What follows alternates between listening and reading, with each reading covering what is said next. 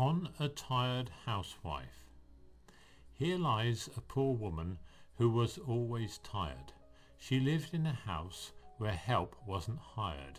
Her last words on earth were, Dear friends, I am going to where there's no cooking or washing or sewing. For everything there is exact to my wishes. For where they don't eat, there's no washing of dishes. I'll be where loud anthems will always be ringing, but having no voice, I'll be quit of the singing. Don't mourn for me now, don't mourn for me never. I'm going to do nothing for ever and ever.